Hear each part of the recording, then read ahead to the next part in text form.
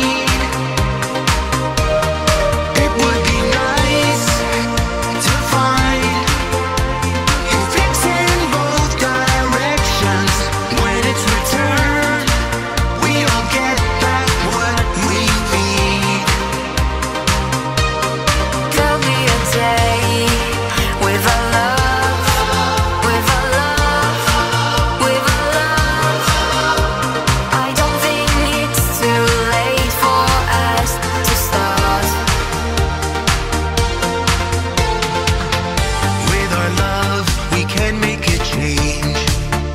With our love, we can make a difference. We can love each other.